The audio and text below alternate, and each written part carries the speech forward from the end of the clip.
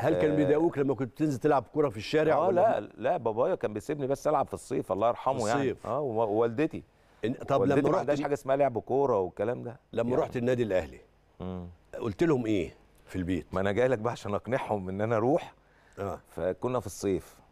فأنا قلت لبابايا بص أنا هلعب في الصيف بس أول ما يجي دخول المدرسة أنا إيه مش هروح بقى.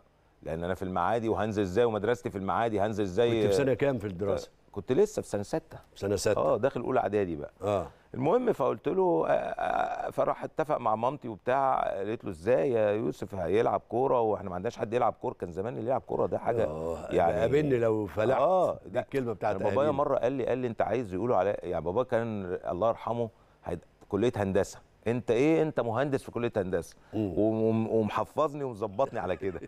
بس حتى ما كنت ابقى راكب معاه العربية وماشيين من عند كلية هندسة أنا والدتي كانت في كلية زراعة. ها؟ يقول لك مكانك كان يشاور لي يقول لي بص كلية هندسة دي هندسة القاهرة.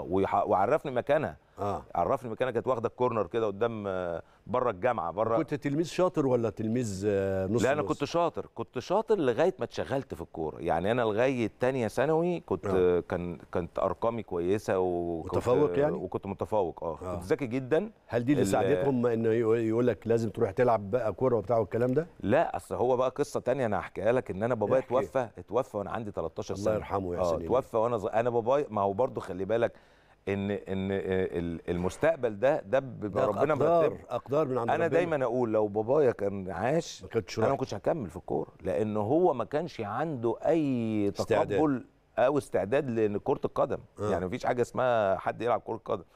عندي طبعا ابن عمي كان بيلعب في النادي الأهلي وأكيد يمكن تعرفه اسمه منير منير عبد الرازق منير عبد الرازق آه طبعا كان منير عبد. الرازق كان مهاجم مميز جدا في سن بتاع كان دفعة طاهر أبو زيد وعلاء ميهوب لا لا فاكر آه. أنا منير آه فاكر. وهو عارف آه، يعني كان دايما يقول لي كابتن مصطفى كان بيشيد بيا وبتاع كان من نادي النصر هو أيوه أنا فاكره لا فاكر. منير كويس قوي آه فكان ابن عمي بس ده الوحيد وما كملش يعني ما كملش جه عند ال 19 سنة ووقف يعني. مم. بس فالمهم أنا لما والدي توفى كملت شوية في أنت الكوره أقنعته إنك هتلعب لحد الصيف. أقنعت إن أنا ألعبه في الصيف وبعدين آه. لما جيت في الشتاء بقيت أعمل حاجة يا كابتن ما كانش بيعملها حاجة في الطلاب عشان طب أقنعه. دقيقة واحدة قبل ما تكمل بس أنا مش آه. بقاطعك ولا حاجة. إنما أنا عايز أقول بس يعني أنت دخلت ال ال خلاص الاختبارات ونجحت. آه. دخلت وأنت سنك كام سنة في النادي؟ 11 سنة؟ آه.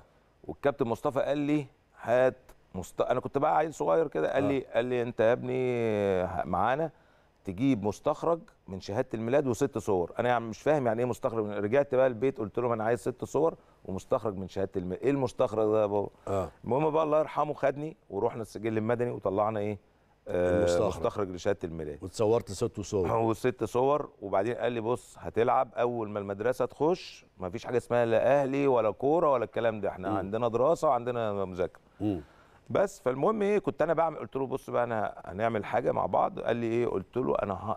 كنت بصحى يوميا الفجر أص... أ... أ... أ... أ- أذاكر قبل ما أروح المدرسة. كمان. آه عشان ألحق أعوض لأن أنا كنت بطلع من المدرسة أطلع على باب اللوق. آه. أركب المترو وأروح على باب اللوق على طول عشان أعدي الكوبري انزل على القصر في قصر النيل أخش النادي الأهلي أتمرن. وأرجع بقى أنت عارف في الشتاء وعقبال ما أرجع بقى بالمواصلات. شغلانة. آه فكنت برجع بالليل طبعا تعبان بقى طول النهار في المدرسة وبتاع فما كانش مذاكرتي إيه بالشكل طب المطلوب وأنت بتقول لي دلوقتي وأنا قطعتك معلش في الكلام قلت لي بس أنا عندي حاجة عاوز أقولها. آه, إيه هي اللي أنت كنت حاجة كنت عاوز تقولها؟ آه. اللي أنت كنت بتقول لي انت كنت بتعملها في الشتاء. آه في الشتاء عشان أقنع بابايا انه يسيبني آه. أكمل بقى في النادي الأهلي. بدأت آه. بقى مع الكابتن محمود السايس. أول لأ مش الكابتن محمود السايس أول واحد دربني الكابتن مفتي إبراهيم. كابتن مفتي آه. ربنا كابتن مفتي ربنا. يديله الصحة.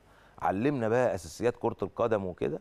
وكنت بقى زي ما أنا بقول لك ببذل مجهود كبير قوي عشان تفضل أرقامي تفضل الدرجات بتاعتي في المدرسة كويسة. فبابايا ما إيه ما, يقولش إن الكره أثرت على ال... نعم. على ال... على المستوى ده الدراسي ذكاء يعني. منك برضه. آه إن أنا أفضل مقنعه يعني. لغاية بقى ما هو السنة اللي بعدها توفى تعب يعني وعي فترة وبعدين توفى يعني. وكملت بقى مع مامتي برضو مقاومة لا حصر لها. آه، هي برضو دكتورة في كلية زراعة فما فيش كورة وإيه الكورة دي وبتاع. بس كنت بدأت بقى إيه بدأت أحط رجلي شوية بدأت ألعب منتخب ناشئين. كان سنك كام تحت سنة؟ 15 سنة.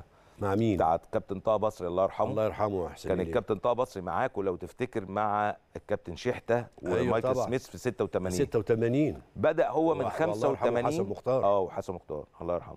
فبدأ من 85 يكون منتخب عشان كأس عالم اللي هو بتاع كندا بتاع 87 انت رحت المنتخب ده. رحت المنتخب ده. آه. المهم بقى فبدأت أنا يعني أحط رجلي و... ولعبت بقى في الأهلي الثلاث سنين دول. ما كنتش وأنا صغير كنتش بلعب بصفة دايمة.